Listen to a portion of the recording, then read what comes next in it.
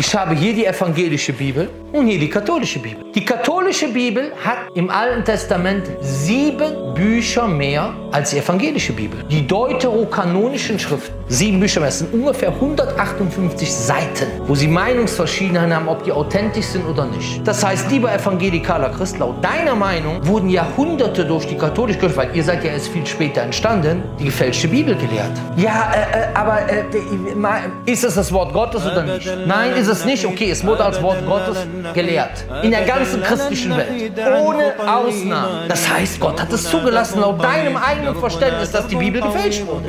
Klarer Fall.